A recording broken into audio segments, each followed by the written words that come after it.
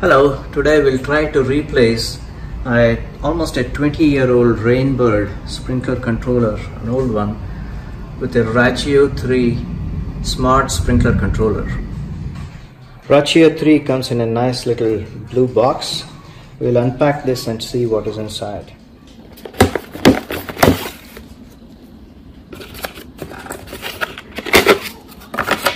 is the controller. Instruction manual. Power outlet. And some fasteners. There's a nice short installation manual. Goes step by step. Tells you what is in the box, what you'll need for installation,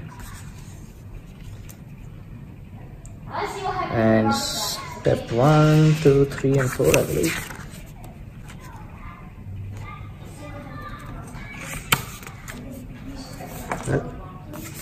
Three steps, and we should be done. Let's start with step one. Let's clearly document how the old system is working. So it's connected to the power outlet there. I'm going to see what is inside here. This is the first time I'm removing this cover. It's a bunch of cables connected to each of those uh, uh, sprinkler stations. I'm going to take a couple of pictures of this so uh, when we put back the new controller we know exactly which cable needs to go where. Notice the existing wiring. There is a power input which is coming in from the power outlet here. It's connected onto these three cables here and then uh, zones 1 through 12 or 16 whatever number you have these are the cables that are connected to each of those and then there is a couple of white wires so these are the common wires so on the new controller there are three or four common uh, uh, you know uh, connections where you can insert uh, these into any of those uh, COM connectors. Next I'm going to run all the stations uh, once to see if all the sprinklers are working fine. Also it gives me an opportunity to take pictures of those zones so I can upload it on my Rachio app. So let's do that the first zone is my flower bed. Taking a picture of it just making sure uh, all the sprinklers the sprinkler heads are working fine. Let's see how those connectors look like in the Rachio new system. If you look at if you open faceplate you'll notice the common white connectors and then connectors for each of the zones one through how many ever you have. And then there are connectors for the sensors S1 S2 uh, since I don't have sensors uh, I'm not going to worry too much about them. And there's a connection for a uh, 24 volt AC uh, coming from the sensors. Uh, again I'm not going to use them because I'm going to use the use only the power input for, from the adapter. If you have any questions on wiring, you can visit uh, rachio.com slash wiring. Next step is to disconnect the power and remove all of these cables. Let's do that. Let's remove all of these. After removing all of these cables, I'm going to now get rid uh, I mean dismount the box the controller box okay so the old system is out. Served me well for 20 years. Thank you. The last page of the manual has the mounting template. It has uh, positions for these three holes that we need to mount the new system. And they match with these three holes that are at the back of the controller. So we'll drill those holes on the wall now.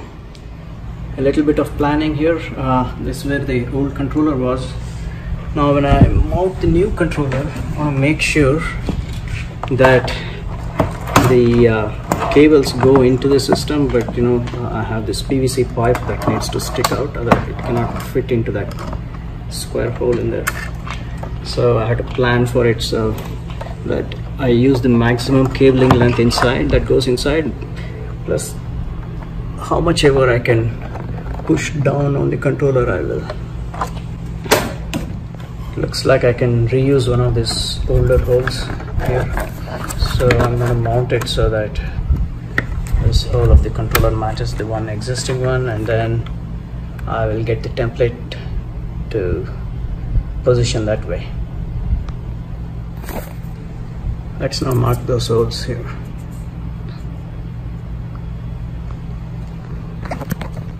Let's drill those holes now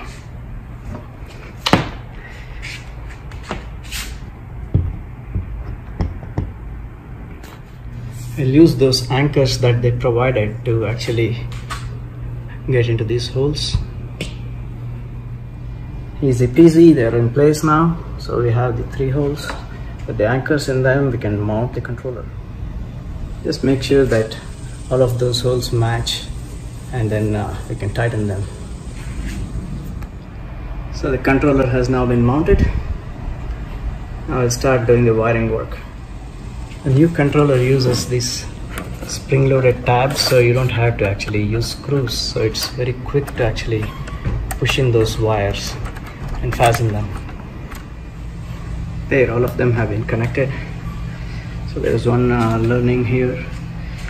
Uh, so this PVC pipe since I had all of my 10 zones it's kind of leaning more towards the left and the right of the controller so all the cables have to be pulled somewhat to the left. So just make sure when you position the controller you realize which of those will, you'll be using and then centralize them as needed. Also after installing gently pull the uh, wires just to make sure that they won't easily come off and then they're clipped firmly inside the controller. Like that. I just connected the power cord system has started booting up and blinking with the orange light. Now I have to download the app create an account and connect to this Rachio all done.